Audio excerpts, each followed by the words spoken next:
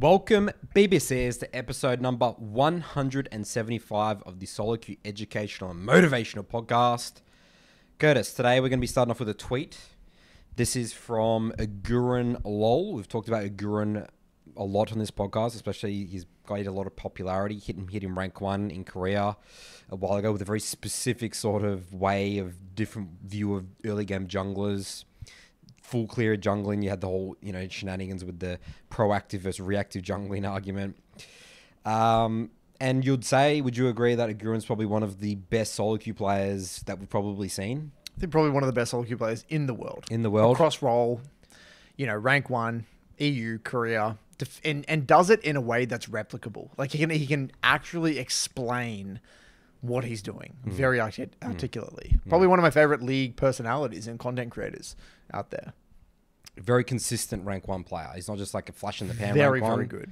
Consistent and pretty consistent with his champs that he's known for as well, the Kha'Zix and all that sort of stuff. Elise.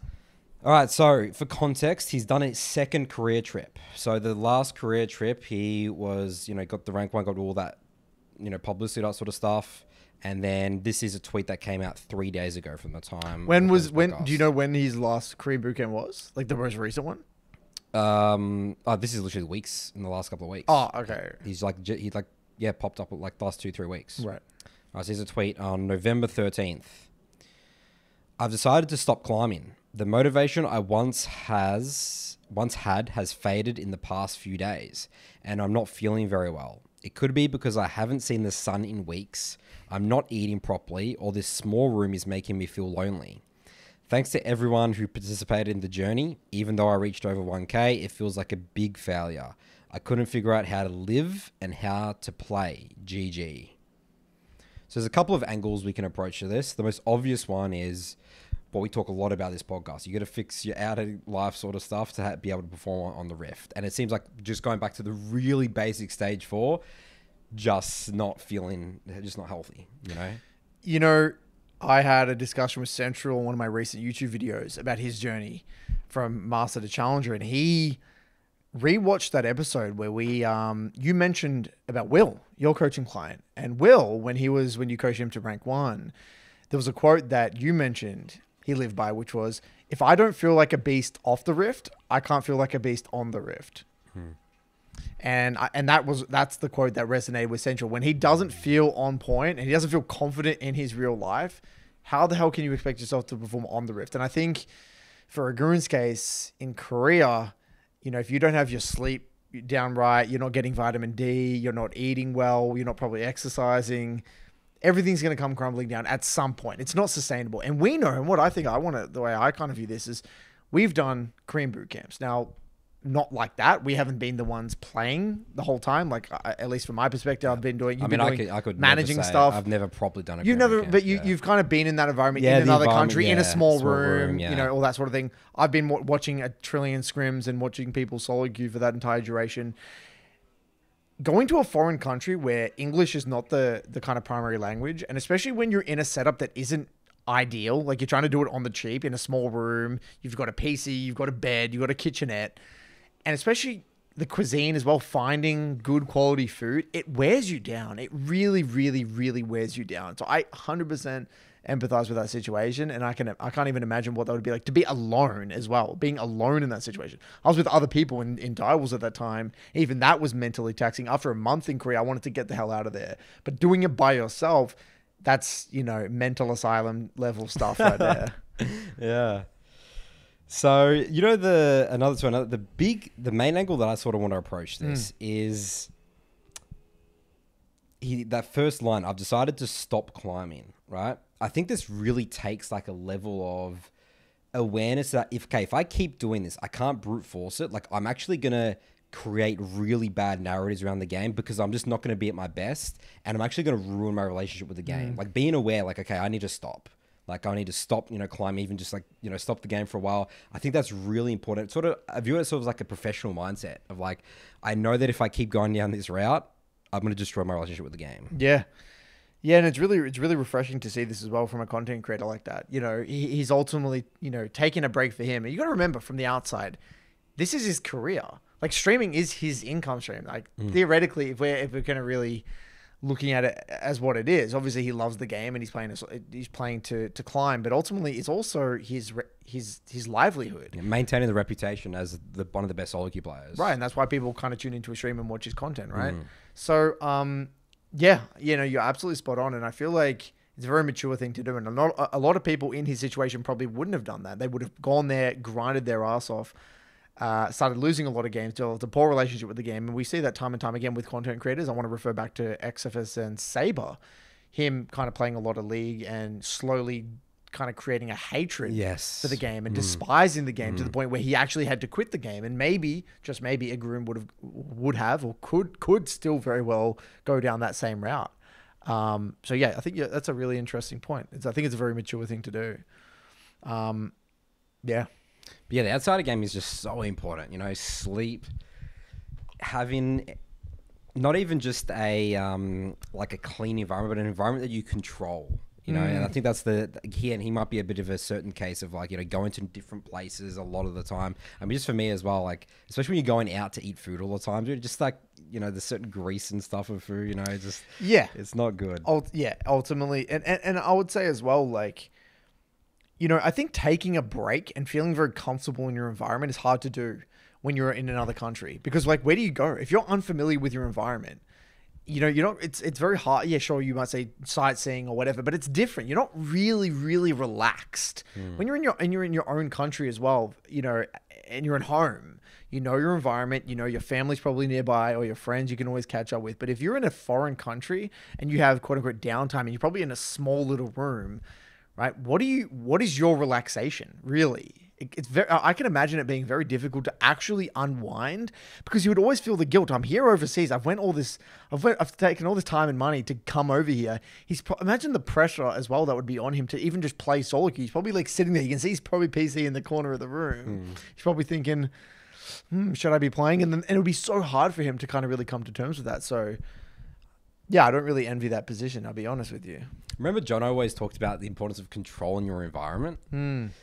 And he would like do like little things, like really like move shit around and stuff like that. Like He's like when you go somewhere, like unpack your suitcase and use the drawers and wardrobes, like actually Yes. unpack your clothes. Yeah. that was a, that was one. that was one for us from the Trump shot. I thought that that was a really interesting take. It was an and it interesting felt take. it felt the the controlling of environment. I think is, is really important. You know, this is why I think that a lot of the time you see, especially with like pro players and stuff like imports and stuff like that, come to they just sometimes just don't perform the, the Hmm. way because it's just such a they don't feel like they control the environment. It's so much like maybe it's the language and stuff like that, but I think that's the main thing. It's like this is I just don't feel this Feel is my home. environment. I think that's part of the reason Faker's had so much success. He has full control over his environment. He's Korea, Korean, lives in Korea, Same organization. same as well. same thing. Like that would just be his Hmm. environment permanently, right? He's not moving to another team, different management, all that sort of stuff, you know? So I think that's actually a huge Hmm. reason as well why Faker's had so much success.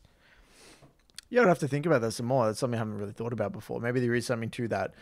Simply just staying in a similar situation. I mean, you know, I, I guess for all of us here, even sitting on the, the playing in the same PC in the same room, right? I mean, Dopa famously had the same mouse and same keyboards and measured the distance Measure from the, the, distance, desk and the height, the monitor height, and stuff like that.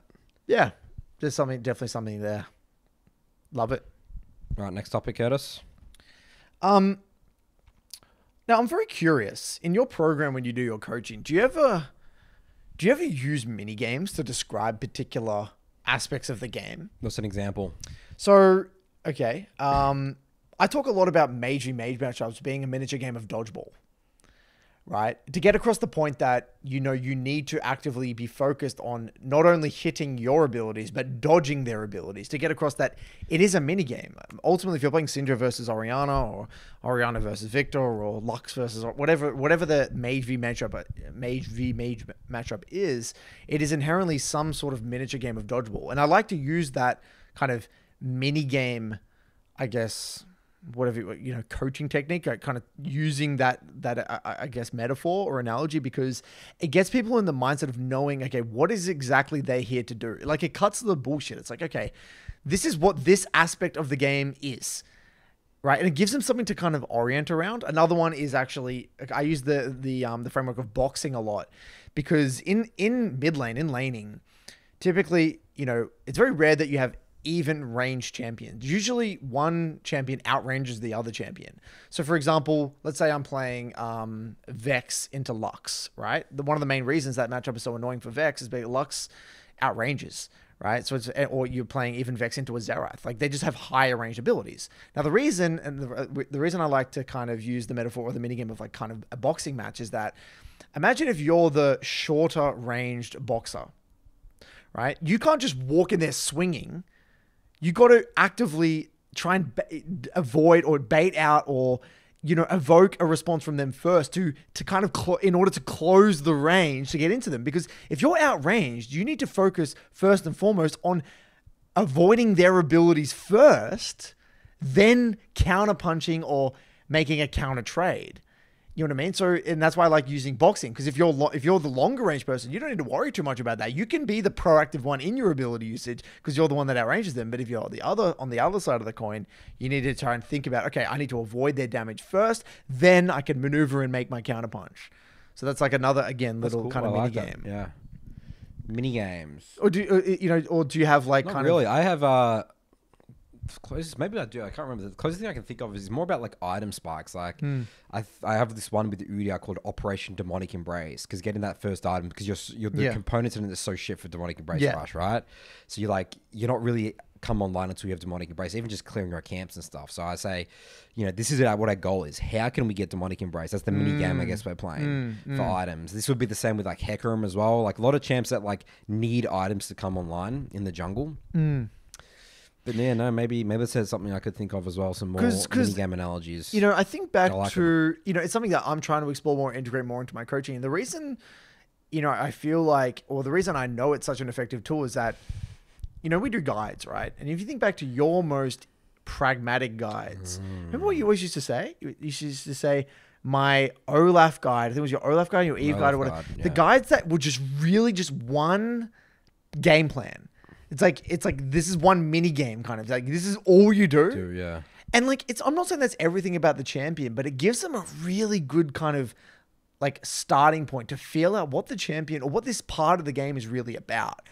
And you remember all the comments you used to get on people who watch your your Olaf guy were like, you know, this is great. I climbed up so much just from watching the guide because I had just for doing that specific that early game specific thing. And the same with my Ekko guide back in the day. I had this like thing with the mini game, which is yeah, like getting to this item. You- okay, you got to based on this wave, use these DMATs, get to this item, then boom. It's like it's like a kind of a, this boom, very clean black and white. It's like create. It's like brute forcing a black and white esque view of the game. Yeah, it was bru- yeah, which is what we don't really do much Which in league. It's- We don't really want that. Yeah. But but I think it's an underutilized coaching technique because, Yeah. or just a technique for learning in general because.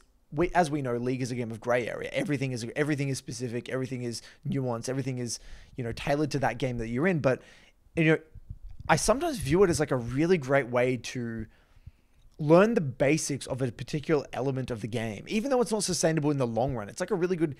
Uh, it's a great starting point. it's like it's you know yeah. what the what it, what it's similar to is like you know when um it's like bowling you know there's that when you're a kid and you have like that little stand and you roll the ball Mm. it's like or the gutters or like you put up the gutters and it's like okay well I'm still getting the feel of throwing the bowling ball you know but it's like an extra little bit of help and you know it's not obviously not sustainable in the long run but it gives me the feel of how to throw a bowling ball you know what I mean and then later on we can remove them we can we stop doing this gameplay we can add a little bit more nuance push down the gutter the the barriers or whatever on the side of the lanes, and then we can actually play real, real, uh, real bowling. Yeah. Yeah, no, I mean, uh, the game, yeah, it's just the more I play, it's just the more we just got to adapt, adapt, adapt, adapt, right? Like, it's black and white rules are just so hard, It's hard. especially It's when hard. it's for jungle. You know, people talk all the way, or, like people love talking about this is the way this matchup works, or this bounce Right. way back, but it's just that's just not Right, how you gotta be play out. You got to be adaptable. The closest thing is like for most champs. Is yeah, just get level four first, and then Right. but then it's not black because then it's like there's all these different sequences that then happen. It's like what happens if you're matching the enemy jungle? What happens if the lane you're pathing towards Right. is watered early? So What maybe it's not. So, so you're matchup? saying that like that way of teaching that you did before with the Olaf, you wouldn't do that. well, the anymore. Olaf, the Olaf This is so specific. unique because he was so strong early. There was no counterplay. Like Right, so that was like a you could very walk around and do whatever the, f- you wanted. Right, Right, right. There's just so little, which is so rare. Hmm. You don't really, you rarely have a champion that is able to, especially at that point in time, you could full clear. That was like one of the first like you would full clear, but you're also insanely strong. right. right? That didn't exist back then. Right. Interesting. Yeah, so something I'm gonna have to think about anyway. Maybe you're right. Maybe it's just completely useless, but I don't know. I just feel like it's something that a lot of my clients resonate with. Yeah, mini games are cool. Mini games are cool. Again, I just have it for items more so. I want to talk about um micro problems for a second. Micro, God, that's that's. And this is where I feel like I dis I me and you differ a lot. Yeah. Okay, I, I, and so okay, I I, I want to say I so the the weight of micro problems. What do you mean by no, so? I I just think that me and you have a fundamentally different approach to fixing like problems. You like or what even is a micro problem? Yeah. that's why I want to get into this discussion Okay. with you. Okay, Okay. So, all right, I've watched a- you know with your coaching. Hmm. You know, you'll talk a lot about you know Samuli. I think he plays Nidalee, Nidalee, yeah. and I just disagree with your approach Yeah. To, to to fixing micro problems. So I, I don't even think I have an approach. Right. Okay. Let, let's talk about this because I think Yeah. that, correct me if I'm wrong, your current quote unquote approach is just get in the repetitions, Yeah. You know, keep doing have a general idea of like okay I, I when micro I, keep, I sort of think about okay how do you want to use your abilities is more so Great. so it's like a great example is like Hecarim which which I have different versions of like the way you want to fight it's like do we start with a big R do we start with them walking into us and just phase rush and then we then we hold our E then we E so I Right, talk it general philosophies like, about of how to use- the abilities in fights Great. That's, I think that's really good. I don't have a problem with that. I think that's really important. I just think that a lot of people think they have mechanical problems or quote unquote micro mechanical problems when they Mm. don't at all. My argument is that 90% of let's say ability usage problems, like let's say including in this miss skill shots, getting hit by skill shots, all this sort of thing, is actually nothing to do with clicking, reaction times, anything at all. It's all anticipation. All anticipation. So like like that 90%. And so I had a review this week and it was a, a Syndra guy. He came in playing Syndra and he said, Curtis, my micro is just atrocious. My, I miss all my Syndra E's. And he was really frustrated because he's like, he felt like he was capped mechanically. He, he felt like he was gated. It felt like he, he came into the review thinking I, I he felt really helpless and defeated. It's like I, I keep saying I'm missing my E's. I know I'm losing games off missing my E's. I'm just at a loss. I don't even know how to fix it. Right. And then I'm like, okay, I'm gonna keep an open mind. I'm gonna look into these these details, right? And there was a situation where he saw the enemy mid jungle starting dragon. Okay. He's at around the dot bush. They don't see him. Okay. They're just hitting the dragon. There's no ward in the pit, so he doesn't really see. He knows they're in the pit doing the dragon, but he can't see them doing the dragon. He walks over outside the dragon pit, wards inside the pit, and then th- and then sees them both hitting the dragon. Throws his QE to try and hit the sun onto the onto the jungler, mm. and the Graves just like walks away, and he just misses the combo, and then they just do dragon in front of his face, and then and he's like saying. If I just land this QE, I can kill the jungler. They don't do dragon. The game's just completely different. I'm like, I totally agree. Mm. And what I said to him, I said, this is not a mechanical problem. This is nothing to do with micro mechanics. And what I said, I said, okay, I want you to look at this situation through Graves' lens. Graves was with the jungler on the dragon. If you're playing Graves and you see a random ward pop up in the pit, are you just going to stand there? Are you going to sit there auto attacking that dragon? No, you're going to probably step back or e back, or you're going to do. You're going to have some sort of the response. you're on the you're in the anticipation mode you're the Graves would be in the defense right. mindset Exactly. You, you're gonna you're gonna you're gonna move you're gonna move in some way, shape, or form. Right. We don't know where he's gonna move, but he's probably gonna move somewhere. Right. So therefore, knowing that as a Syndra, if I ward that pit, of course I'm never gonna go for a QE. The only scenario where I would QE is if if I knew that I was off vision and I know there's no way Yeah, they so could you're using the it. fog of war concept, Right. Yeah, so that's that's a that's a part of micro, right? Fog was that was that where you? no, no, no. My, my point here is that what's the? What's the my, point my here, point guys? here is that the reason he threw his QE is because he didn't know how Graves would respond in this situation. Okay, It's nothing to do with his ability or, or non-ability to hit the QE. That's right. Yes, Right? And if I'm you like, break it down. That's what So it if you actually, if you actually break down ninety percent of my of like this, is when I look at your client Samuli's Nidalee, his cues, his cues aren't because he has randomly just randomly missing cues. That's actually such a. It's actually not the case whatsoever. yeah, of course he's trying to hit them. Samuli's problem, no, it's not even. It's not that he's not even trying to hit them. It's just that it's not a clicking or accuracy or problem. It's that he he's not viewing the game through the enemy person's lens. He actually hasn't gone back in the review to be like, you know what? If I was that that Orianna here, what would I do? How would I be moving? How would I be moving? Yeah. Why would I move like Yeah, that? yeah. What would be the and then you ask yourself the question after that. What would be the most annoying thing for me to do in terms of how I- like what's the most annoying way for me to use my ability? And so we go through all these situations in the game.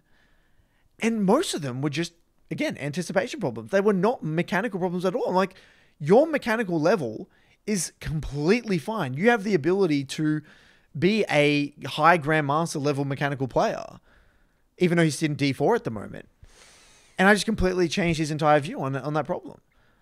And so, you know, I think the reason I want to raise this is that I think most people listening who think they're terrible at hitting skill shots, take a second to look again. Ask yourself that question when you're looking at that scenario.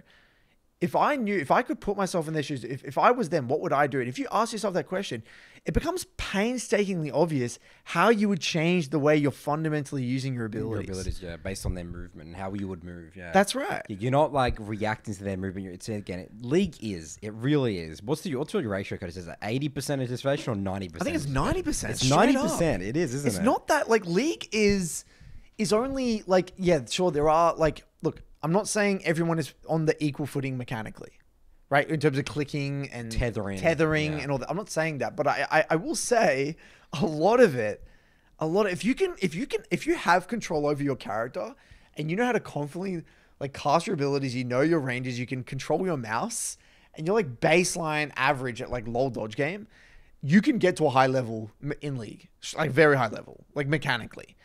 That's not the thing holding you back. And and I just think that a lot of people think it is, but it's not. They haven't taken the time to. They, it's like it's like having intention with your abilities, but your intention is twofold. And this is the time back to the you know the the analogies and the metaphors. I I, I think of casting abilities in league like like a dance, like the tango. It's a two person thing. The ma- the man in the doing the tango is doing things, and then the woman in the tango is doing things. It's not that they're two. in- They they they're, they're like both. They're like two independent entities, and they're interacting with each other. Yeah. yeah. like it's not just like I do this, they do that. It's like it's like an interplay between two things. It's like that's the way you got to view ability usage. You're interacting with another human at the end of the day, so you have to view it like there's another human on the other side, you know, maneuvering their character. Hmm. And and then and then people say, but I'm never going to be in this situation again. And that's where the repetitions come into play. If you are re- if you're playing Nidalee, again, Samuli's playing Nidalee, and I you throw this spear, and you miss this spear, and then you you actually in the review are genuinely curious about like why they were able to respond that way, why they move that way, and what you what you could have how how should you have used your skill shot? If you actually ask that, do that, and you do that for two months, you'd be you would see night and day difference in his his his. You're just only usage. looking at skirmishing, your ability usage, that's hitting, right. hitting skill shots. That's right. Yeah. That's right. You ask that question and you go through that process, you would be a completely different player. Yeah. Straight up. That's my belief. Yep, I'm gonna deep dive into micro probably early next year because I have like sections in my I'm redoing it on Hmm. my Saltu, like the fundamentals that sort of stuff, and I'm just gonna have a pure just dodging skill shots, you know, um, you know, getting skill Anticipation. shots, yeah, anticipation. And I think this is especially important for you, Nathan, as I've a been I've been focused a lot more on like fog of war recently, Right. Because what the general thing that I see a lot of people do, how they play, a fight happens and they just just put their body in the fight, you know, versus thinking about Hmm. How can I use my abilities out of fog of war. Like that's my number one priority most right. of the time. Fog of War, interesting. Fog of War, I find is really, especially as a jungler, Hmm. is is a huge part in my eyes of having good micro using Fog of War to your advantage. But a lot of people don't think about it because remember, people don't think about what the enemy's seen on their screens. It's Hmm. the same thing, right? Yeah, it's, a, it's similar. It's an extension of that 100%. And the other tools that I have in my kit as well is, um, yeah, aiming at their feet for micro. You know, I've never done that. I've never done that. You should try to. Do it It works well. I've never done that. That's interesting. Maybe, maybe, maybe it's. I mean, um, I'm not saying you don't need it, but I'm, and it could be helpful. I'm just saying I've never, I've never done that personally. aim at the character model's feet. I've had people had a lot of success with that. Really interesting. And then the thing of like controlling your character, click closer to your character. Yeah. You know, it's funny when we talk about this example. Did I send you that clip uh, with the Philip? Like, No. I think I showed you it of like anticipation. Like he was anticipating the, a Morgana cue, right? Mm. And he moved into it. Mm. So it's like, how do you explain that for anticipation? And he literally says, like, we even said it before. Right. We're doing a live coaching. We Right. even said it before. It's like, okay, all you have to do is dodge this Morgana cue. And he's like, Well, he's like I- I- I intentionally I like have looking to, look at dodge it. it. Well, I I have to. I would have to look at it again because it can be many things, right? Yeah. It can be. Okay, well, then let's go a bit deeper. Then he he can. I'm thinking more now, like, where's where do you look? Yeah, where's his attention? Like, where do you look? Do you look at your character or their character Q? So I had a review this morning with a silver Vex player. Because I don't know what I do.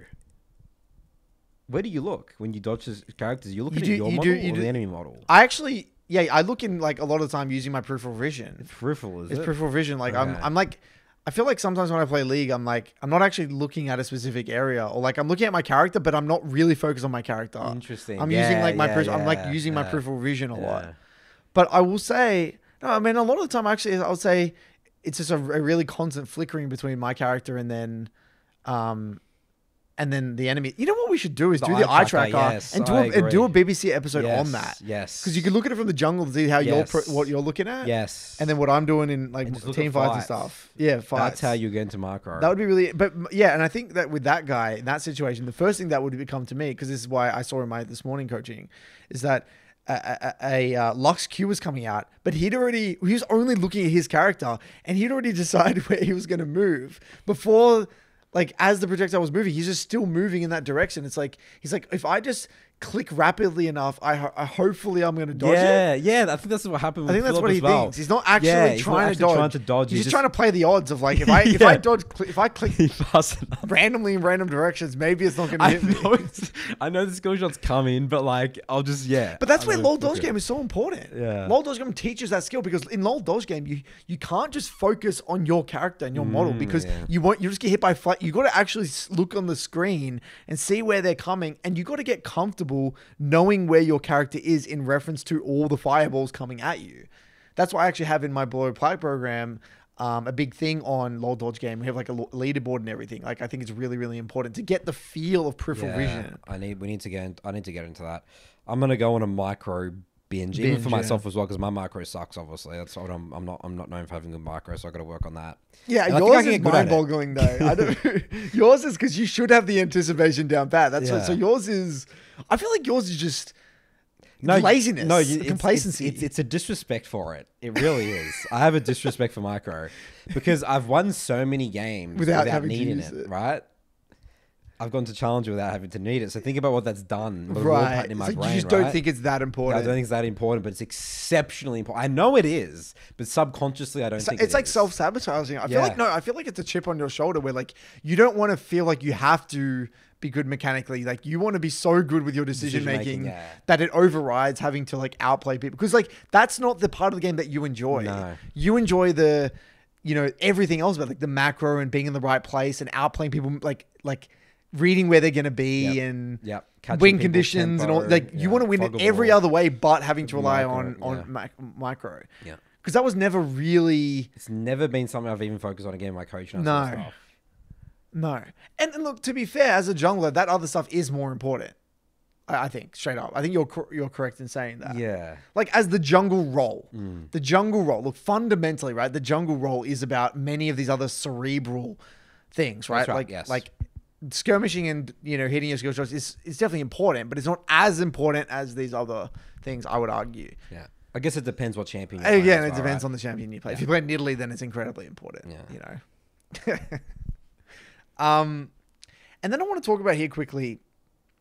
Okay, so I um Actually, sorry. Before we move on, Yeah. people ask about LOL Dodge game. mm, Do you want to do a quick little guide about how to get LOL Dodge game? Because some people aren't going to know what it is. So it's the loldodgegame.com. And what are the settings? loldodgegame.com yeah, loldodgegame.com and then you go skill shot and then you go skill shot and dodge, skill shot and dodge and then you go hard. Got it. Yeah, not not ranked whatever, it's just, uh, the hard one. hard- yeah, hard yeah, setting. The hard setting. That's what I do. Done. And you can't use flash. yeah, not allowed to use flash. Yeah, you just have to click. That's right. And shoot. I have a video on my YouTube about it if you're interested. Okay, so they type in what Coach Curtis Um, LOL Dodge game. I'm sure that will come up LOL Dodge game if you type in Coach Curtis LOL Dodge game. So I actually feel like I, I did a little bit of accidental therapy therapy today without even realizing it. I actually like I was doing it in the middle of the session and I felt like I was like a therapist, like an unprofessional, obviously therapist. Yeah, an you know. amateur therapist. And I want to talk about this like this this little exercise I did. Okay, so a client came in and he gave this rev- he gave this VOD and it was just basic basic mistakes. And this is a master tier client, right? And that's always a red flag. If someone comes in and they and they send you a VOD that's like, oh, here we go, I died to a level three gank or whatever it is. It's like they already know what I'm going to say. If you're at this level of play, you should already know that this is an end of review mistake. You should already know, you should already know how to review it. So that in itself, and then we've had this discussion before. The the VOD they send bring, yeah. gives you a lot of information. Mm. Okay. Yeah, so why would he send that? Why he already he knows how to problem solve this. right? And and and look, we got into the started getting into the matchup specifics, whatever. We did all that, and then I said to me, I'm like, okay, then. I said, what is really bothering you? Like, I'm like, what, like, what is? Because he said I just get really like frustrated and in, in my games, and I'm like, okay, and so, what are you frustrated about? And and then I said, okay, we're gonna go through an exercise here. So imagine we're on the Titanic, and you see the tip of an iceberg here the way you want to view it is that the tip of the iceberg is the initial emotion.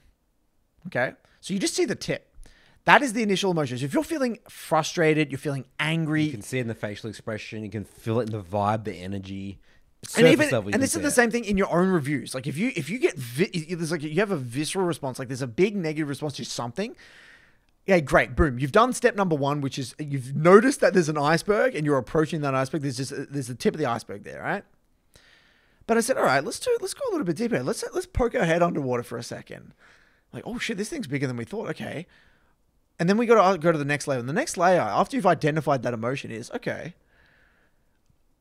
Why, like, when, like, what happened specifically to elicit this response?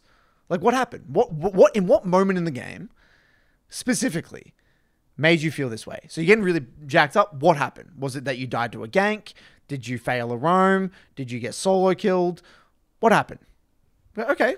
Then he says, okay, yeah, it was this this moment here. I'm like, okay, great. So now we've recognized the emotion. We've recognized what actually brought about that emotion. Let's go even deeper. Let's go to the next layer.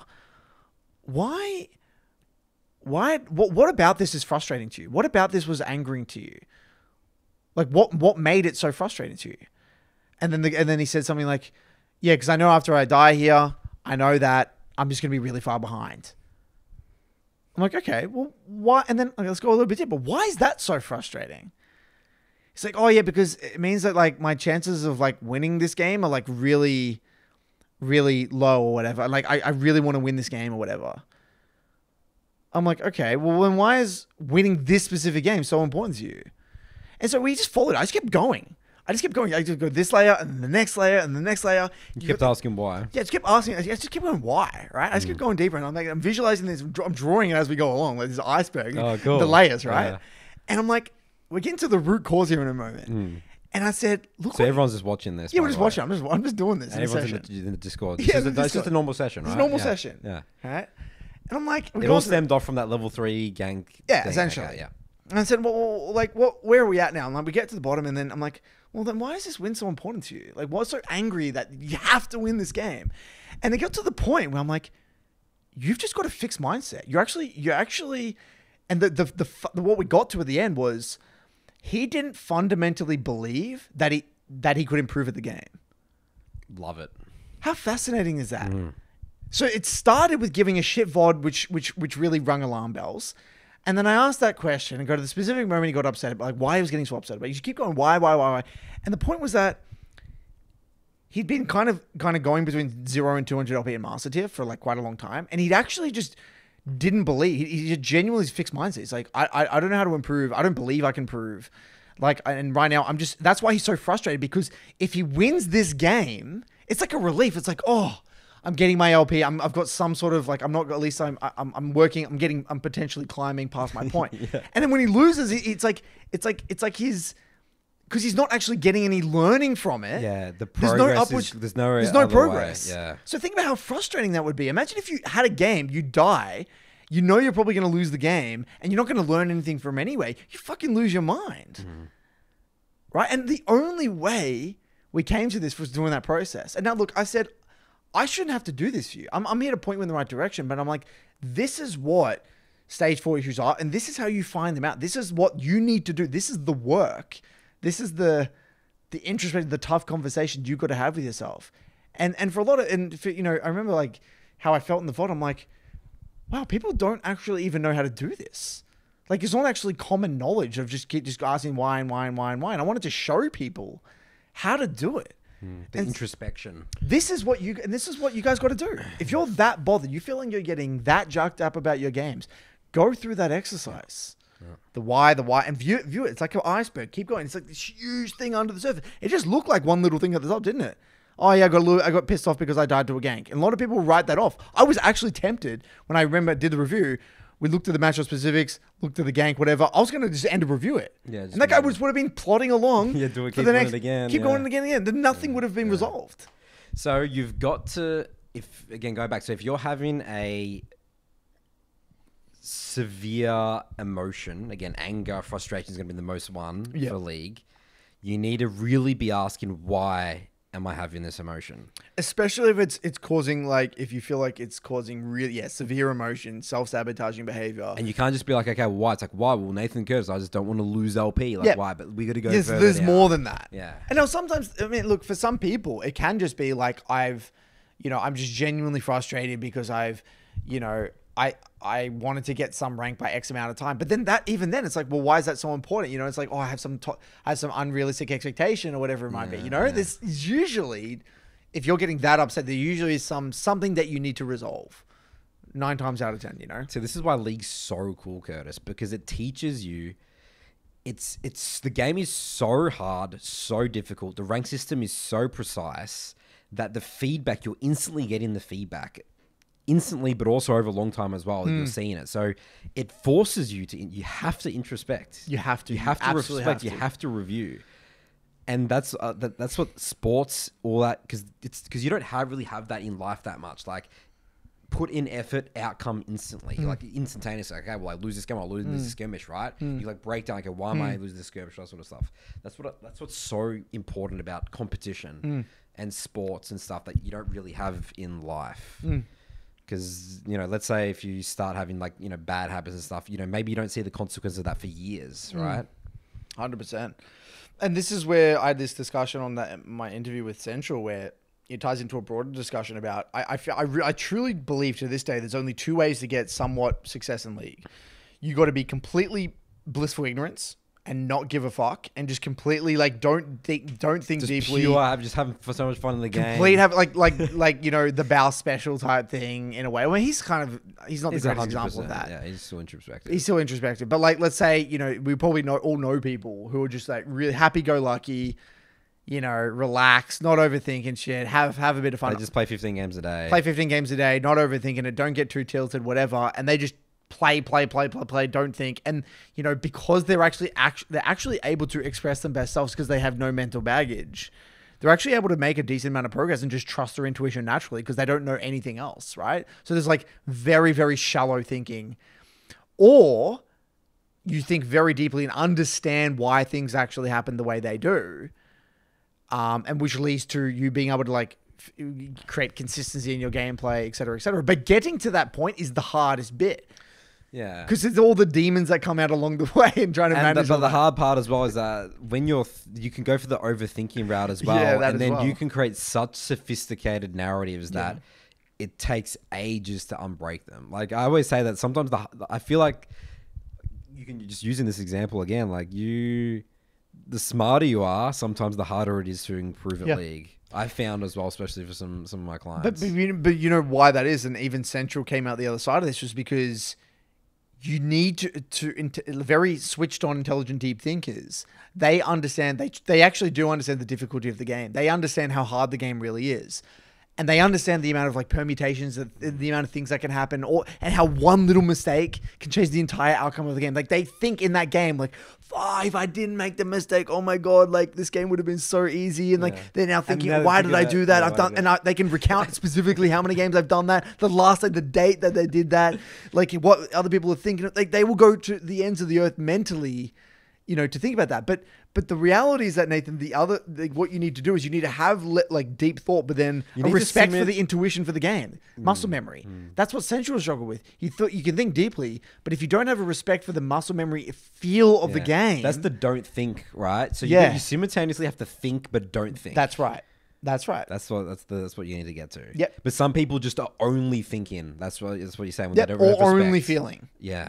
What you got to do both. Hmm. League is a game of both. You've got to have insane amount of feel and intuition, and you've got to be, a, you know, a sophisticated thinker and think deeply and understand the consequence of your actions and think in other people's perspectives and think about the chain ser- series of events about things and think about win conditions. This stuff it takes a lot of, you know, what do they call it? Like, um, oh, what's the what's the term where it's like you're thinking i- i- one iteration and then there's the sec- second. There's like a, a word for it. I Can't- can help you here, I can't remember. Anyway, it's like second order or third order. Oh, you know yeah. what I mean? First order, second order, third order. it's like you, you, you know, it's like if this happens, then that happens. But if I do that, then that. It's like you know what I mean. It's like you're thinking two steps in advance, three steps in advance, four steps in advance. You know. Moving on. All right, we'll move on to our Reddit post. This one is not from Summoner School today, Curtis. This one's from Okay. Reddit League of Legends. Uh, this post, uh, this was this week. It has five, six hundred upvotes and about six hundred comments. Okay. There's only one part of this that I really want to go over. Um, if you want to read the post, I'll have it linked. But uh, essentially, the title here is a challenger's perspective on League in general, as well as addressing people's common concerns with the game. And there's a couple of dot points here, and he has this, you know some lots of little dot points and overall arching titles. So the first one is the game is not bad. Second one, the game's pretty balanced. Up, harassing us developers. The th- uh, the next one is Elo Hell losers queue does not exist. The next one is in any competitive setting, there will be unavoidable negative emotion toxicity. The interesting one I want to, the last point here, Curtis, hmm. this got a lot of discussion on my Discord as well. I think we've talked about this on the podcast maybe before. Anyone can hit challenger, but you must be playing to win rather than simply playing for enjoyment. And I'll read the post here. And then he says, but it takes people years to hit Challenger. Yeah, but this is the difference between playing with intent and playing for fun. You'll never hit it as a casual unless you're able to play 10 games a day for an eternity. People play for seven years and remain gold, and others can hit Challenger in two. Time does not necessarily equate to skill, but over time, intentional playing will directly correlate to skill. In addition, in physical sports, coaching is extremely normalized, if not just flat out necessary. In esports, it is not as common for individual players or looked down upon, in my opinion. Simply put, there is no way a casual player will ever outclass a player who is obsessed with the game, no matter what rank they may be. A more talented player may beat a less talented player initially, but if the other player has an obsession for perfection, he will eventually become inferior. Obsession can become talent itself. A player who thinks about the game more will not only have more reputations in matches, but also create a habit of processing situations in the game, and that means more thoughtful repetitions. Enough thoughtful repetition will lead to near perfection. TLDR, if you want to hit Challenger, stop playing as a casual and play a lot of games with a lot of intent. Even if you ha- have barely any talent, obsession can amount for a lack of initial skill. So, Curtis, when I first read this, I think of like how I would be talking, like back like when I was 19, 20 years old. You know what I mean? Yeah. It's like a very, I don't want to say image Surface level. surface level. It's a very sort of like a cool idea. It's like anyone can challenge if you just be obsessed. You know, like all those motivational dreams. Yeah. It's like at the end of the day, if you just look at just really logical, just raw statistics, it's it's not. No. It's literally not possible for anyone to hit challenger. No. People are again realizing the percent, the percentile, um, of how hard it is to get to challenger. Getting challenger is incredibly difficult. Incredibly, incredibly difficult. And it doesn't matter how obsessed you are. There are people that, uh, you know, I mean, obsession is helpful. There's no, I'm not going to deny that obsession is helpful, but, you know, I don't think it's an overly helpful th- thing to say that anyone can get challenger. Yeah. We talk a lot about the importance as well of like coming to league of like having that time, the years already prior, either playing other computer games, or just like yeah, being on the like playing PC games. Hmm. That background is so important. You Well, I want to make it very clear, actually, just uh, one thing here I, before we get into that topic. Hmm. You know, I've got people in my program that are absolutely obsessed. Hmm. Like we're talking dedicate their life, like their life revolves around the game. And they're They still they're, ask a lot of questions. they ask questions. They, are come to exactly what reviews all the time. They they're- thought, think about the game. They follow the process. They do everything, and they're still just low master, and been master for a long time. You know, I'm not saying they will never get challenger, but like, like, yeah. I think it's so disrespectful to the to to the amount of people that are obsessed. There are so many people that are obsessed about right, the game. yeah. There are people that are obsessed about the game and play with intent or, and are in you know being in like diamond for years, as or master low master for years. You know, so the reality is that like I think that you know having obsession is only is something that will help you a lot, and I think it's kind of like a a borderline bare minimum. Like you have to be really dedicated and passionate about the game. I agree. That's kind of like barrier to entry. But there's thousands upon thousands upon thousands of people that are dedicated and passionate about the game and really care about the game and and center league around their life. Like that that's shit ton. If you're a challenger player on a major region, you're borderline a semi-professional at the game. Yes. right? Hmm. So yeah, sorry, go on about the background of gaming. Yeah, background like a lot of things need to sort of be clicking in a way, you know, like a lot of the sort of the time that you play the game. You know, at the end of the day, if you let's just flat out say it, if someone is like 22 years old, right?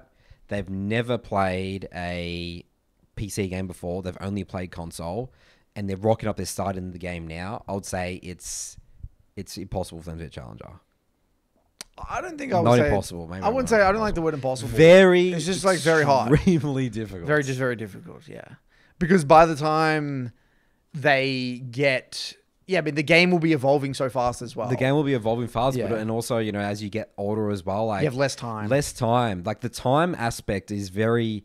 People don't realize that people like it, it's really cool to say in isolation where people just sit there for. Dedication. But you can't. Like people have you got to you work. have, you, have, like- you, have a, you have a relationship. yeah, you have yeah, a relationship. career. You got to work. I, I, I will say this confidently. Yeah. I do believe anyone can get master.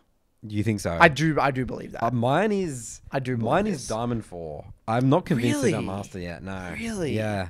The, the, just because I've just seen Yeah. I've seen some absolute characters get master tier. Really? you know, no, like but what's their backgrounds like? Curtis? Like- come on, let's really. Do you are you sure? Look, the the look. I think that anyone who is genuinely, genuinely passionate about the game, like I, because okay, I think that the,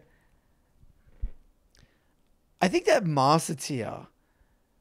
Okay, so let, let's, let's get specific. Okay, what makes a challenger? Let's let's just have a quick discussion about what what we think makes a challenger player. Okay, hmm.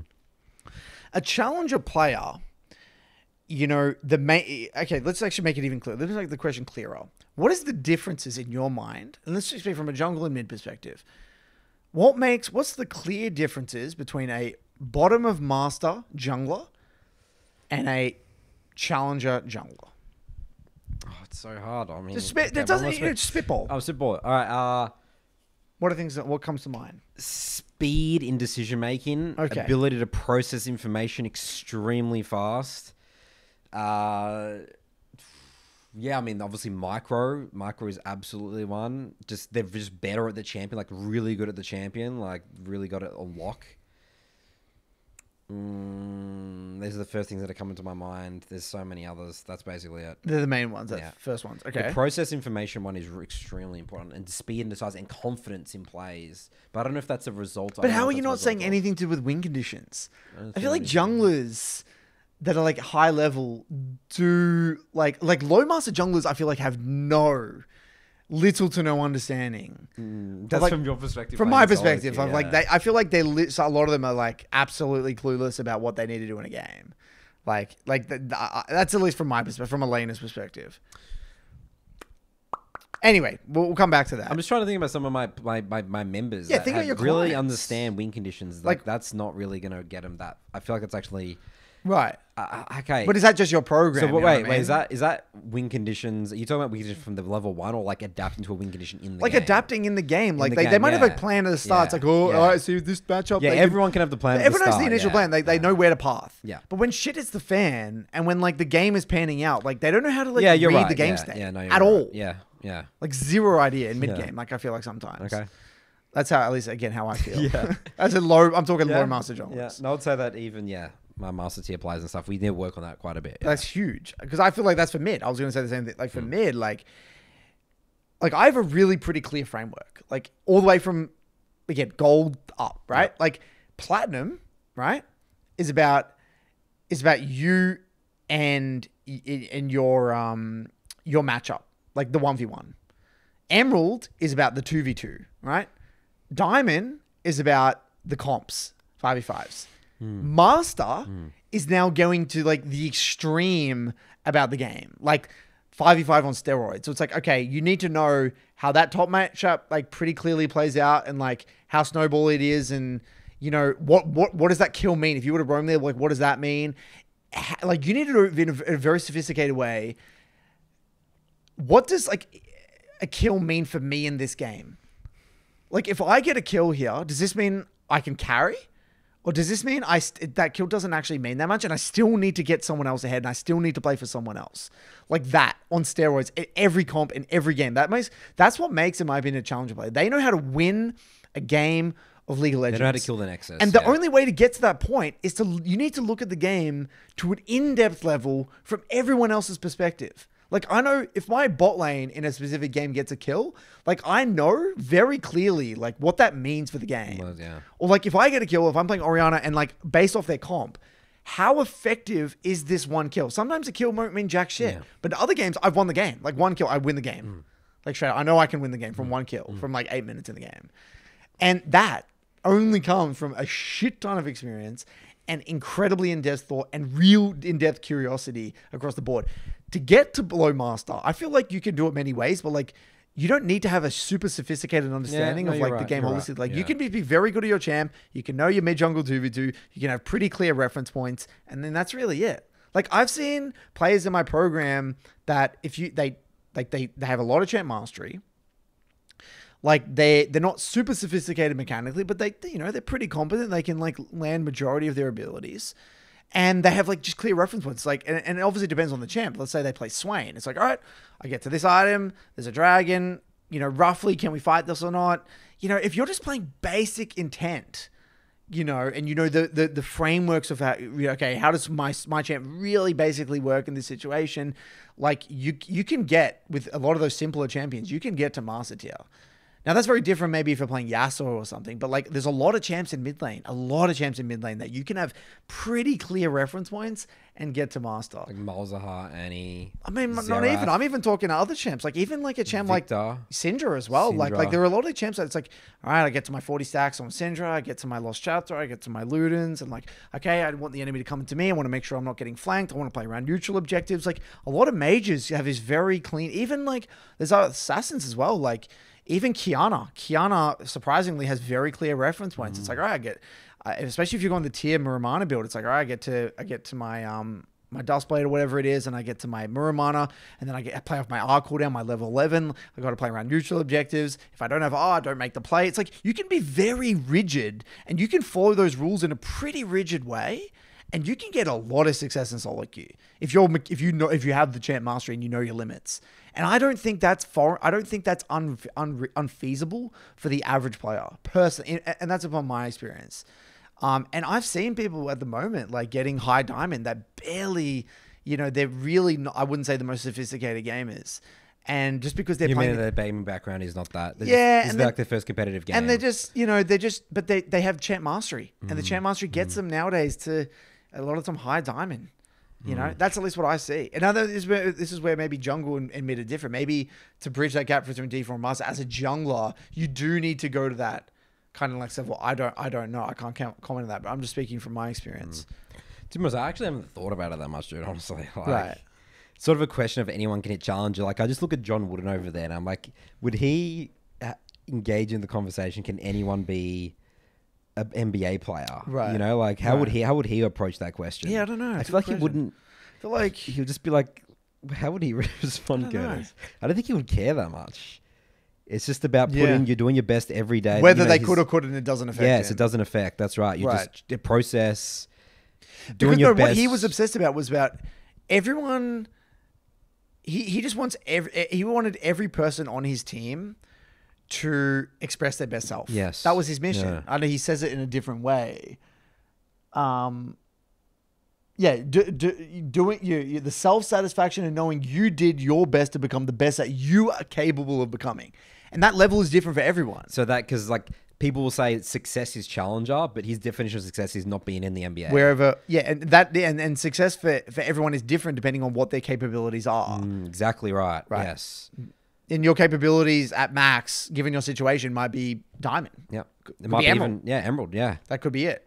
Given the amount of time you're able to put into the game, right? That that is part of your capabilities, right? So It's not like everyone has the ability to sit there and do, you know, two, three blocks every day, five days a week. I mean, that's just completely unreasonable. But um, yeah, maybe I'm fucking delusional though. I don't know. I don't know.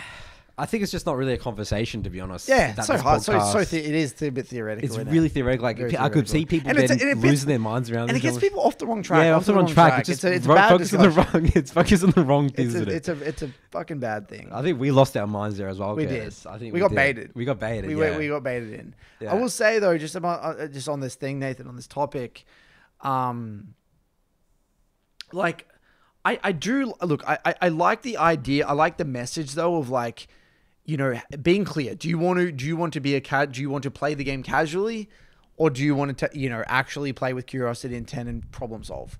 Like, like that's what I that's the that's how I interpret that whole thing, you know, mm. from his mm. from his Reddit post. And I think that's an important question we all should ask ourselves. And wherever that gets us, it doesn't really matter. It's the it's the effort and the the satisfaction in going through that journey. All right. You want to do any comments that you wanted to look for in that one? Um, no, I think we're not going to bait it any further, Curtis. Okay. Let's move on. So Curtis's clips. yep. Let's do it. Let's get into the details, guys. And welcome everyone to Curtis's Clip Corner. All right, so Nathan has not seen this clip. Now, this is going to be a bit of a different Curtis's Clip Corner, okay? I'm going to show you this. Now, I want you to I want you to review this as if you were the, they say this kindred in this situation was maybe your your your coaching client. Okay, I want you to really break this one down, and I want to get your take on this, and then we're going to look at it from the mid and jungle perspective. All right. Okay. So let's play this one out. So for the people listening, looks like the kindred here finishes top scuttle and is looking for a bit of a cross map through mid here. We've got a Taliyah mid. And look, to be honest, if you're not listening, you, you, if you're not watching this, you just got to watch. yeah, let's Can't explain. Too many Let's do it. variables Too many here. variables. You see kindred cross mapping. It's four minutes in the game, so he's going for a double crab. I want to. Okay, the jungler's popped up. Yep. Was he done a record? Yeah, he's got it. He's got it. Looks like a tier two boots, right? Because he's got the um. Let's go back here. This like yeah, Hecarim has tier two Ah, boots. Here, interesting. right? Okay, yep. So let's go back here a little bit. Again. Sorry.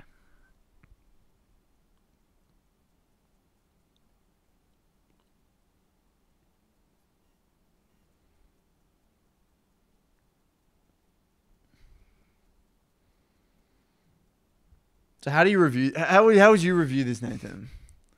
This situation. Wow, very interesting. Okay, so let's look at some variables here. Yeah. So it's so interesting. So there's a Nasus and a Nasus mid. Mid.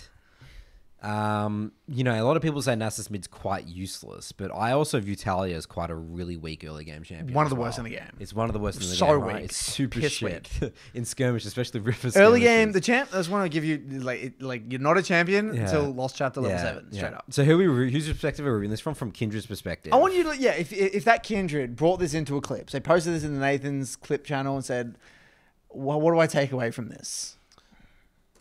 So watch it again. Well, I need more context on the early game. Okay, so what- yeah, watch the early game. I gotta watch the early game. Okay, watch now. just skim Alright. through the early part thing. Because like, wh- how did we get? because to he this di- he situation? dies to the Hecarim. There's an, that's Okay, another problem. Okay, so he goes red into into his blue grump. Is that the classic? Like Kindred goes starts his red buff, and uh, then the, the typical blue grump. Okay, so did and oh, dude, this is not even good for him. Yeah, this is not good. yeah. So what happens is he goes to the blue because eh, the only way this works is if Hecarim starts. Because it looks like He's heck blue room buff. did the wolves. I think. Let me see. Let me see. Yeah, he did the Wolves start. Yeah, it's Yeah. a new path, by the way. So what they do is they do Ah. Wolves, Raptors, Reg. It's like an it's a good anti-invade path as well. yeah, so Ah, this that's so Kindred's- smart. It's That's already in a review for Kindred. It already is in a review. Okay, so okay, well let's just Okay, continue let's, let's keep because obviously this, the- skirmish, this yeah. affects the mid lane. Mid lane. here, Okay, so again, we got to review for the mid lane. Like, look at this Kindred. Now he's skipping all his camps. yeah, no, what happened? No, but, but the, the Taliyah messed up here though, because Taliyah, uh, this was the the second. There was two clips that I got sent. This is the first one. I said this was Taliyah's fault. Taliyah should be collapsing here. Yeah, absolutely. but she doesn't. Oh no. Yeah. So then then then Kindred. Um, Hecarim kill Kindred? yeah, I think so. So the general principle, guys, is as a, if, you, you're invading, you've got to get level three first. So he's just got to commit to the grump there. You got to do grump and let your blue you get taken. map. Yeah, yeah, it's- it's, fine. it's- It's fine though, right? Yeah. At that point, I mean, it's still bad, but like it's not that bad. Uh, This is why I hate level two. Inv- I I'm anti level two invades in Two. Okay. It's so flip. Just Unless flip. unless you're playing Graves or Kindred and they start blue buff and you catch him on the grump. That's the only high percentage for. So now you're you're screwed, right? I know it's already end of review for her, but the reality is that So what, what does Taliyah do now? Okay, so then now Kindred goes, wow, so he's still top here. He's level four now to level three. Okay. yeah. All right, we get back in the game. So that's why Hecarim is able to be based, right? And has tier two so boots. has tier two boots. Now, so then he gets the, he gets the mark right, so on then top now side. the question you ask is, okay, he gets mark on top. Yeah. Okay, so where is Hecarim going to go now? Going to go out of base, and he's going to go straight 100% back bot side. Yeah. Yeah. Wolves are so he's got back bot side out of base. Yeah. The question you ask is Kindred. Okay, I'm level three with 30% health right now. Yep. So Um, he does I know, sc- does I know. Hecarim's bot side, so. Yeah, it's really simple. Like you just can't go bot side here, dude. So the only thing you'd possibly be doing and you can't here, go bot side because Hecarim would have based or like would yeah, have he's, been able to spend item. his and items he's also level four and he's level up on and his bot side, yeah, you cannot go for the bot grab in a million years. So, um, and he would have some gold users. So what you'll do is you'd probably want to defend your Raptors away from Hecarim. So what I'll actually be doing is Kindred. I'll be going down to my Raptors here. Mm. I'll skip my Gromp to Raptors, Krugs, then reset and maybe deploy hold smarts. You can deploy straight back All right, whatever. There's something. something about that, right? So anyway, this Kindred then goes onto bot side. Yeah. and then and then like this happens and these are the sorts of clips i get all the time Yeah, interesting. these sorts of clips Yeah. from like the, the situations are show shit and so this ties into a discussion which like he, he doesn't want this Yeah, right like Natalia doesn't want this. he doesn't want the, he, he's, he's like pinging for assistance Mm. like the kindred's like pinging for assistance Oh. and this is where a lot of my midlanders in my academy get, have these situations where it's like Yep. it's the reality is that you got to ping it off but it's so hard for the average player especially Yeah, if you're in platinum yeah, or something yeah. to like ping this off You just know? gotta, my friend, like, let's say in my stream, let them rot. You just let Kindred rot. You just do whatever, whatever. Yeah. What does Taliyah want to do here? Yeah, that's push same- the wave and base. You just yeah, you just want to just rot. chill for it. Yeah, yeah, shove You the wave and base. That's die. right. I don't give an f about this. That's uh, exactly. That's the same conclusion I came to, and good. and so this is where this ties into a broader discussion about how, and it's really good, by the way, to hear your perspective. It makes so much sense because I was like, I didn't really understand this from a jungler's perspective. Yeah. Um, so again, I'm referring to it a lot, but my interview with Central was really interesting because he said one of his big breakthroughs was that he had to be unapologetic about the decisions that he's making in the game. Yes. You have to have that selfish kind of fuck all of you mindset. I'm going to make a decision. I'm going to do what's good for me. Unless it's high percentage, I don't give an Yes, F. exactly. Yes. Unless it's high percentage, I don't give a shit because Yeah. because the reality is that we have to. This is the hardest thing about league. You got to be okay with losing the game off this play, Mm. but you got to know that if this is a high percentage play, yes, okay, this might work 70 percent of the time. I mean, let's say me basing, sorry, is seventy percent of the time. Leaving this Taliyah, leaving this Kindred to die is the best play the 70 best play for the 70% of the time, game, right? yes. That means three out of seven times you're going to lose the game because, like, let's say just because your Kindred dies, your jungle tilts, whatever, right? The reality is that you're playing the you're playing the odds game. That's why leagues like poker, you actually have to view league like an odds game. So if you have these clear reference points and things that your champion wants to do, you have to have faith that if I stick to these kind of like for the most part in most situations, like stick to my reference points and I take the high percentage play majority of the time, I'm going to climb in the long run. And you can't get distracted. And even though you may lose the game off this play, like maybe your jungler tilts, whatever, you have to actually be at Yeah, peace with that and be okay with that. Yes. And that's so hard. That's the that's one of the hardest things about league. And uh, and I think this is a really good reminder. And is what I said. It's like you got to just ping this off. You got to be unapologetic. You got to screw other people over, and you got to be selfish. And if we play this situation, you know, a hundred times, a pre first base first strike Taliyah without lost chapter is just a piece of shit. You're not going to be able to win a two v two. As what combined with a level three Kindred against a full level four based bought Right. Hecarim. But let's say let's just like ignore that for a second. Let's say the Hecarim and the Kindred actually equal level. Hmm. Let's say they're both level four and the hmm. Hecarim hasn't based. I still I still, I still as well. Still just let it. him rot. Let them yeah, leave them. Doesn't matter. In your words, let them rot. Like like I think honestly it's way better for the especially if you're unsure. Like cuz this is the two this is the two kind of trains of thought Nathan. Uh, hmm, I'm unsure. Maybe I can make this work. I'm going to go there and limit test. Yes, okay, you can do that. You'll get learnings. and I think that's good to do every now and then. But I think that like in the long run, like you really, it's like you got to do both. You actually have to do both. You have to like do these limit tests and fuck around and find out. But then you also, once you've done a lot of fucking around, be like, okay. I've, I've fucked around enough. I've, yeah. I know my limits now. I know that I am really a piece of shit pre level seven, pre level chapter. I'm just going to get to my level seven lost chapter and see what I can do. It's like the you're like I can fight early. I definitely can. Yeah. But like it's gonna be really good. It's got to be really good. It's got exactly. It's got to be really good. Yeah. Um, It's gotta be high percentage. and again, notice how this is just. It's just. It's just. You know, very messy. League's just a messy game. Hmm. It's just a fucking messy game, Nathan. It's messy. It's a messy game. And this is why I love that you know you talk use the plane crash analogy. You know this is like it's a mess, dude. it's a mess. this is ugly. This is this, this, this game's is getting ugly. ugly. If you let Kindred die, the game gets ugly. Yep. Yep. And, and that's it. So so so real TLDR this one quickly, guys. You're gonna have to do some limit testing. You're gonna have to do that the whole fuck around and find out. But then you're also gonna have to be very strict to the T, stick to your reference points, and feel what that's like. And you're just flip flopping between the two. Hmm.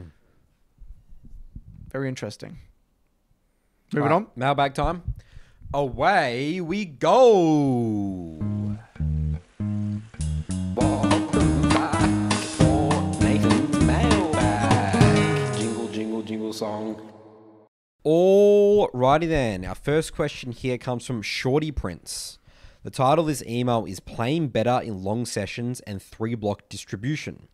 Hi, Curtis and Nathan. I'm a long-time BBC listener and I'm an ADC player. I really enjoy your content about motivation and the thoughts you guys have about the game, despite the role disconnect. Recently, I just hit Masters in North America and I've noticed something interesting in my sessions. I tried to do one three block a day because I believe in them for the same reasons you guys do, but I've noticed that I normally do not play very well in these sessions. Most of the time, I play after classes at around 5 to 6 pm, and by that time, I'm pretty exhausted from the day. Because ADC is a role that depends so much on reaction time and insanely fast decision making, I think the quality of my games is just very low because of mental fatigue. I think my best sessions are on the weekends when I can sleep in and I don't have to worry about class.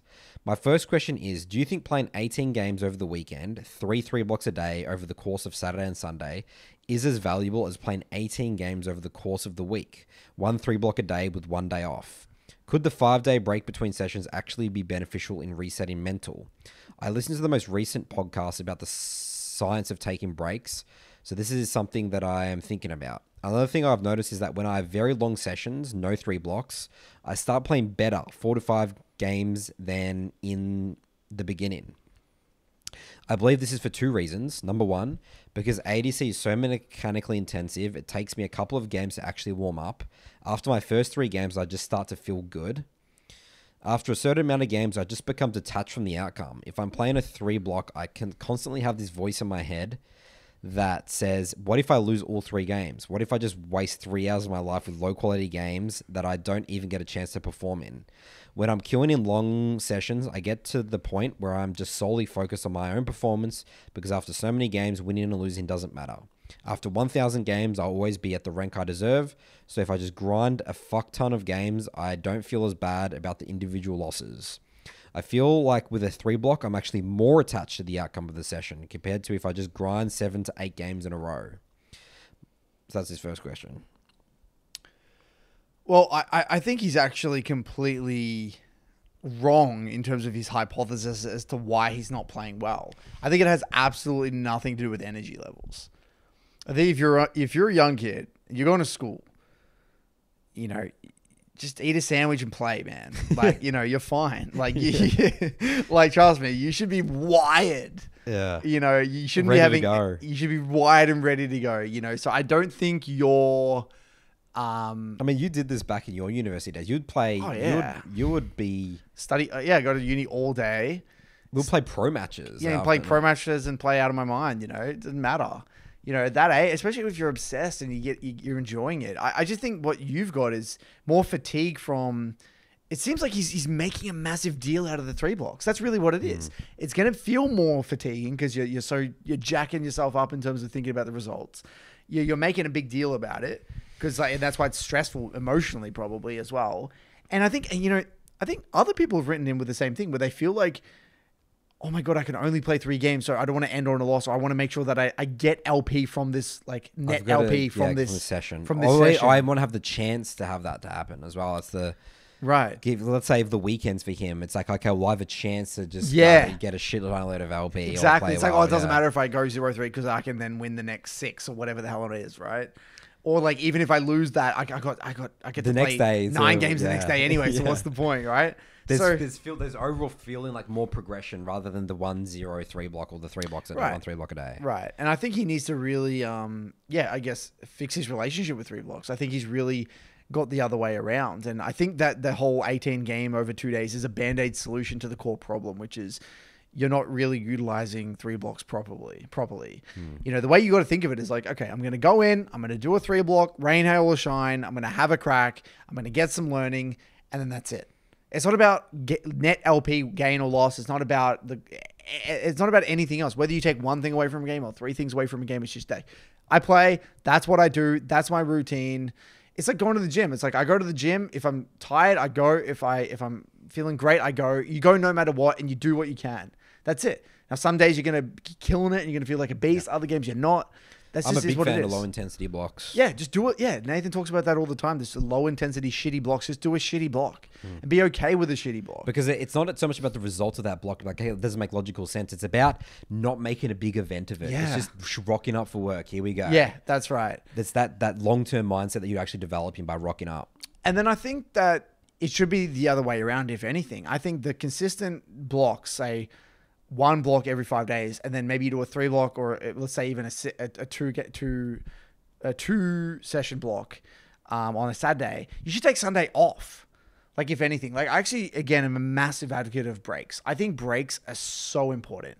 Like I think if you're not taking at minimum, at absolute minimum, one day off a fortnight from league, I think you're setting yourself up to fail, straight up. Like and I- that's something I will I will stand by at all costs. Till you die, Curtis. That is one because I've seen it time and time and time again. Yeah. Not only with many, many, many clients, myself as well. And I'm I, th- I I become delusional. I think oh, it's fine. I'm, I'm feeling fine because you, you you're not though. You, but you don't know that you're not feeling okay until you actually take the break and you get perspective and you feel refreshed.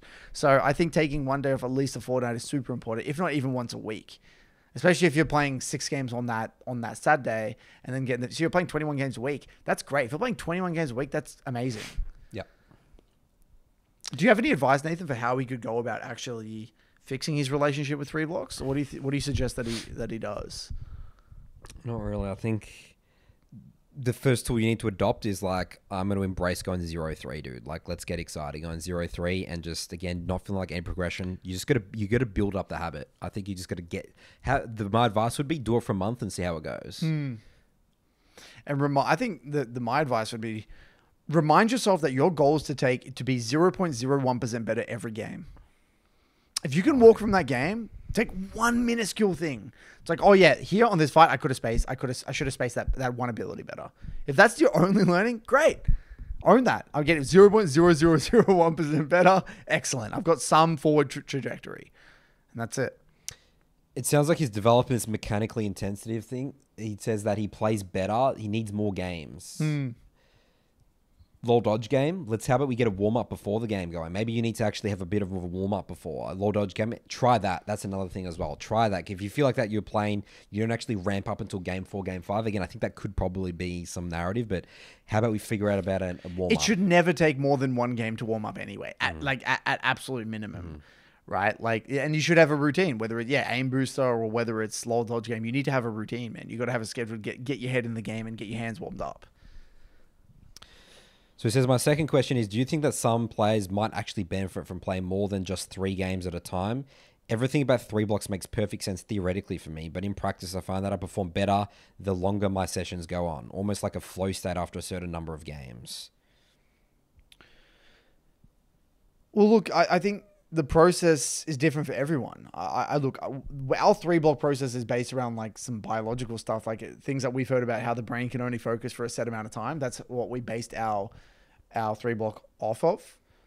I'm sure there are outliers, and you know, I'm not going to completely discount the possibility or disregard the possibility that you could be an outlier, and maybe you are Yeah. You know, you can Oh, focus. there's many examples of people challenge players. You could ask everyone. Like they've definitely most of the time they've probably done sessions of five, six, seven, eight games in a row. Of course. Right, and I, I, and again, I, I don't want to sit here and be like, you should only play three games. That's not what we're here to say. It's just uh, it's just an option. If it works for you, it works for you. If it doesn't work for you, it doesn't work for you. No big deal. You need to find the process that works well for you. My short answer to that question is yes, it is beneficial hundred percent. It can be it can be beneficial can. to play more than three Depending on in a your session. Personality and your situation. Yes. and if you're how energetic you're feeling, how well you're sleeping, what your diet's like, and many many things. If you feel if you're feeling great and you're feeling like you can play five games, then you should play five games. Yeah. But like, you know, just proceed with caution. That's all I'm going to say. Proceed with And just reflect. Ref- yes, reflect. If you're going to do that whole thing, you're going to do the whole five game, s- six block thing. You got to be really honest with yourself because that's where a few things really come into play. Addiction comes into play. I mean, yeah, a lot of copium comes into play, right? Where you think, oh, it's just one more game, just one more game. Oh, I don't want to end on a loss, or I'm feeling fine. Don't worry. And you realize you just like spacing out. You don't even realize, but you just you just want to make up for the last game that you played. Like there's so many bad habits that can, can creep up on you. So you, as long as, like Nathan said, reflect, then you should be all right. It's all about everything with this podcast and our coach. It's about having intention and reflecting. That's what we're all about. Yeah. My next question comes here from Serachi. The title of this email is Struggling on Main, but doing unbelievably well on Smurf. Dear to Nathan, my name is Serachi, a Talon main in the Mid Lane Academy, hitting my peak of Master last split and ending on it. This season, however, I've been playing considerably worse and found myself stuck in Diamond with a pretty low win rate, which is okay. We all have bad splits, so I told myself there's no need to worry about my shaky gameplay as long as I stick to the process and don't get complacent. One day, however, I realized that my Smurf account that was using solely for warm ups was higher than my main with an insane 63% win rate. At first, I just thought it was funny and laughed it off and kept using that account for warm ups. I proceeded to continue not caring about the game on that account, reading my stream chat in between miniature lol states and sometimes even first time in champions like Akali, Azir, and Yone top for just shits and giggles. I even checked League of Graphs and found out that if um, that I FF over 40% of the time on that account. Probably because I'm thinking, oh, I'm just here to warm up, so it doesn't matter. Before I knew it, I hit Master while my main was stuck in mid diamond. I'm honestly not sure what to make of this, so I wanted to hear you guys' opinions. Obviously, this is some sort of mental issue, and despite myself saying that I should follow the process and that LP doesn't matter for improvement, there is definitely something going on in my subconscious that is making my play worse. Perhaps I try too hard on my main because deep down I'm thinking about the wins and the losses, and it's affecting my gameplay. Somehow, me not caring about my Smurf account to the point where I'm first time in champs and throwing up FF votes just because I'm bored is a better extreme than me try harding my main. What do you guys think? I mean, this is simple. This is what I did last year, dude.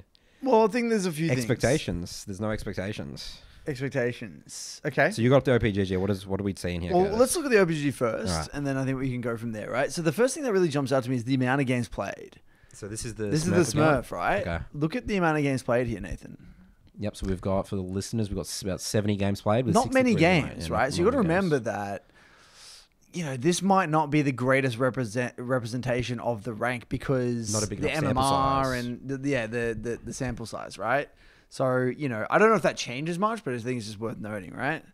Um, so what were your experiences, Nathan? Because you're the one that actually did this. You played on a second account. Your second account became higher than your main account. Yeah, that's what, What I did you last find? year. I don't do that. I only do one account this year, but last year I did two Yeah. accounts. Um, yeah, I found that it was just the the removal of expectations and just having fun and playing free flow.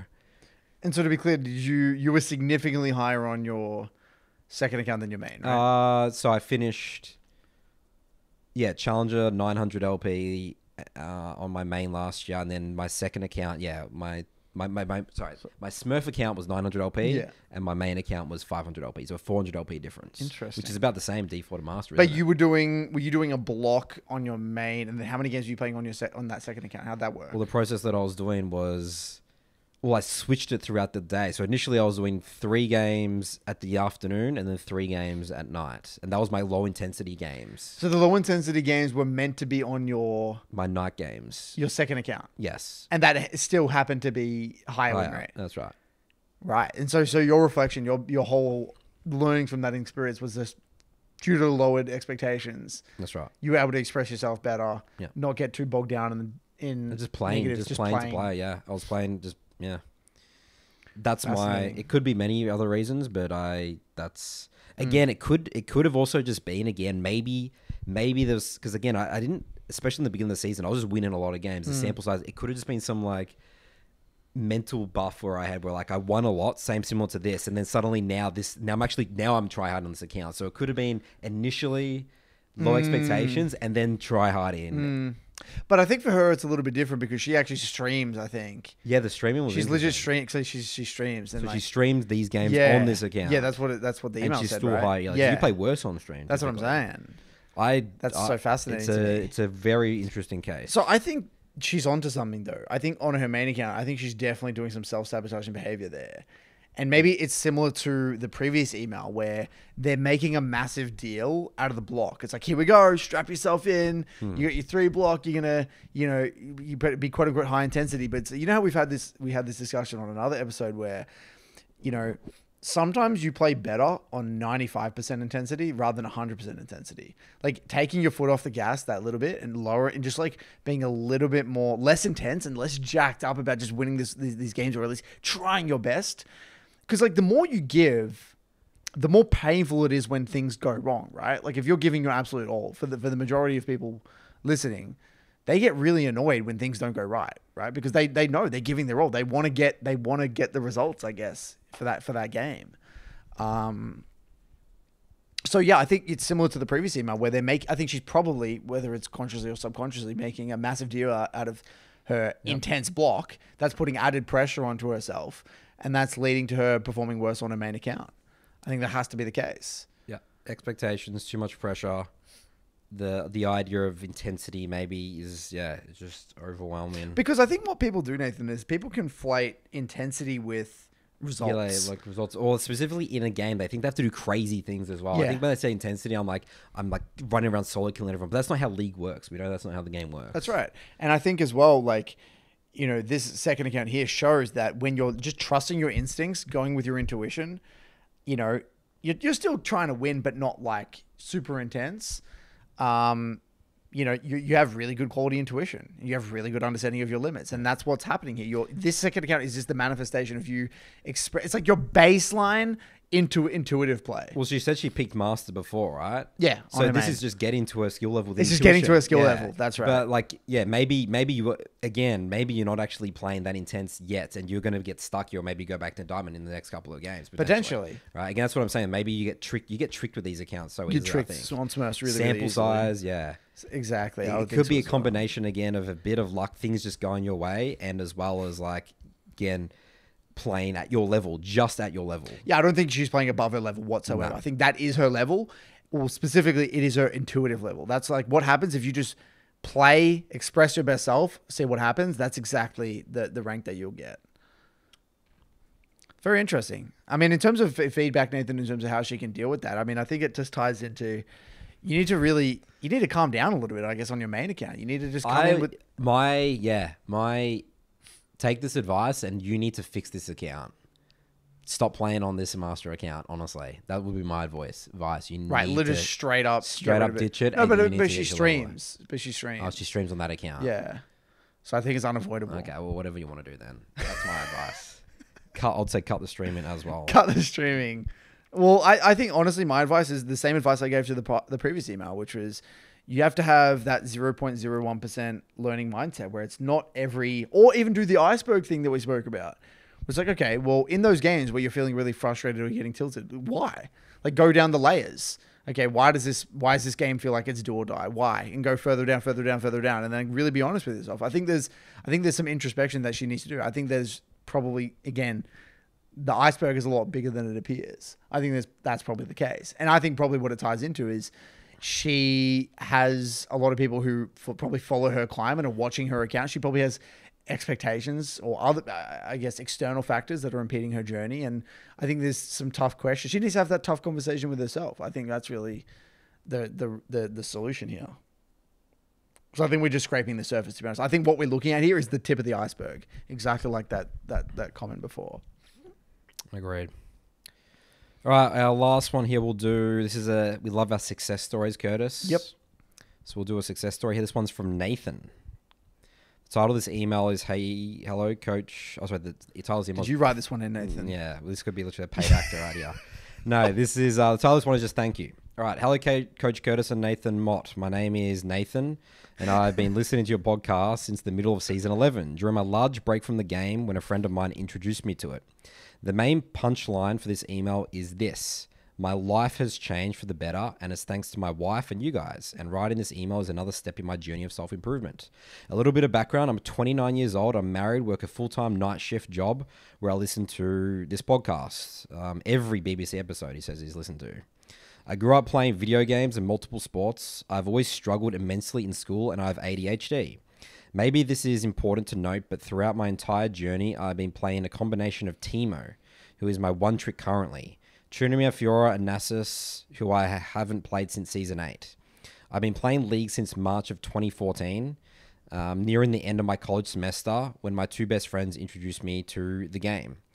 Um, and I immediately got hooked. I played an absurd amount of games with my friends mostly, having fun but further destroying my grades.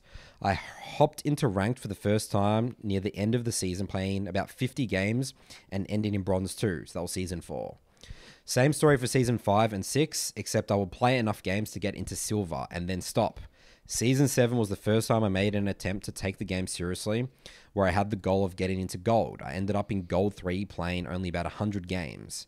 Season 8 had the goal of getting platinum, but after failing my promise into gold 1 three times and losing 15 games in a row, I gave up for the season, but again, only after 100 games. Season 9 is when I started uh, playing Tryndamere, and after only playing 210 games or so, I got to Diamond 4. My ego was at an all time high, of course, but I did. But I did know that I still knew nothing about the game, but this is also where I hit my lowest point. I had extremely toxic expectations for myself, always putting myself down, cursing myself for being bad at the game, and not being able to climb any higher. My relationships with other people and myself were deteriorating. Seasons 10 and 11, I hardly played the game, only about 50 games in season 10, where I had unreasonably high expectations. And in season 11, I took a big break from the game to play other games and improve myself. My wife, at the time girlfriend, who has worked with people with all sorts of mental disorders and disabilities, had eventually convinced me to talk to my doctor about ADHD, and he agreed that yes, I do have it. So in August 2020, I got medicated. Season 11 is when my improvement journey began with my large break from the game. The time away from the game took a huge weight off my shoulders and came back to the game in season 12 with a clean slate, ready and excited to play the game again.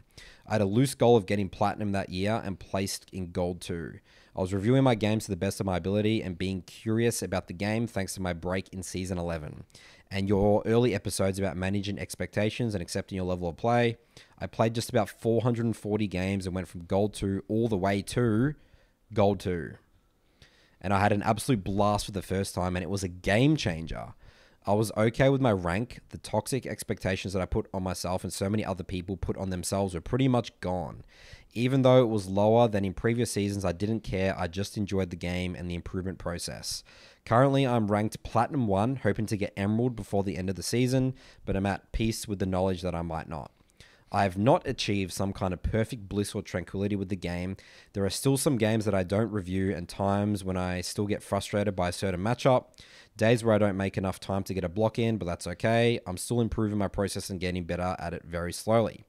For what seems like the first time in my life, or at least in many years, I am happy and look forward to my future as a whole hoping to one day get to master tier. No matter what challenges I will face, I will be able to take them on thanks to your lessons. Once again, thank you guys so much. I look forward to the next time I write in. They're my favorite success stories because it's not about a fancy rank, it's not about a fancy achievement. It's about this mindset shift, and he's just genuinely just a happier guy. Enjoying the game more, enjoying the game more, better relationship with the game, and and I would say just more. He just seems more content, you know, and it's not really a matter of if he gets some massive achievement or it's even not about when. the rank. Guys. It's not about the rank. It's about his relationship with the game Yeah. and the time that he's putting in. Is he enjoying the time that he's putting into the game? He's enjoyed the game more going from gold two to gold two than it So was. gold that- was it gold three to gold two? Was it? no, it was just gold two to gold Oh, two. he Just didn't, go anywhere. go anywhere. Yeah. And compared to when he was diamond four, and just his life was turning into ruin. And that's what this podcast is all about, right? And it's about developing a healthy relationship with the game. It's about being honest with yourself, having that tough conversation. And um, it seems like he's really turned the corner for the better, and he just seems like, I mean, yeah, I mean that's that's I think that's that's what this podcast is all about, really. I love these stories of like these long term players, dude. Like season four, he's been playing for what? How many years? But they're the, Nine they're years. the hardest to change. yes, they're very. I think a difficult. lot of people listening to this wouldn't actually even appreciate how difficult it is what he's done. For those people that have played for the game for over like eight years, it is so, and especially if you've achieved a high rank in the past of, di- of diamond and you've gone back to gold, you know how hard it is to be at For peace. your ego. Yeah, to, to be at peace with, like, to come to terms with the idea that you're now a genuine goal player sends people mad. That say that though that that recipe that's like a recipe for disaster right there. There are many, many, many, many, many people that would never come out of that. They, they would be stuck in their ways. They would have a miserable relationship with the game. They would either be addicted and or complaining on Reddit about how shit league is 24-7.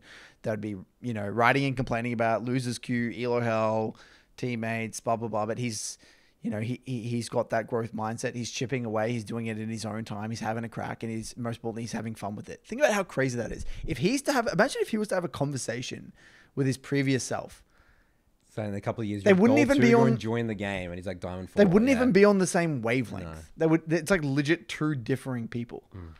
You know, and I think that's just so inspiring. And there are many people that need to hear that, and that it is possible. Though there's people that, especially the long-term league players, it's an incredibly impressive feat.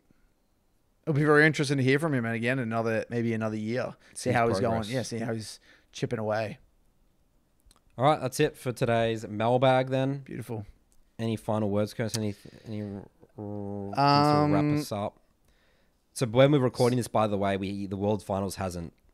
That's right. Yeah, so you might be thinking, what are your thoughts on Worlds? We'll do that next episode. So I want Faker to win. That's it. That's all I'm going to say. I think everyone's rooting for Faker. Got to root for Faker. Yeah. T1. T1. That will be his fourth World Championship. Is it fourth or third? So he fourth. won season season two, season No, no, three, he won season three. and then Season. did he, win, did he win season four? F- I'm looking this up. How many worlds has Faker won? This is embarrassing, Nathan. Yeah, I know. I'm pretty sure my guess is three. Here we go. Yeah, he's won Three. three. Yeah, so this could be this will be his fourth Wow. if he was to win.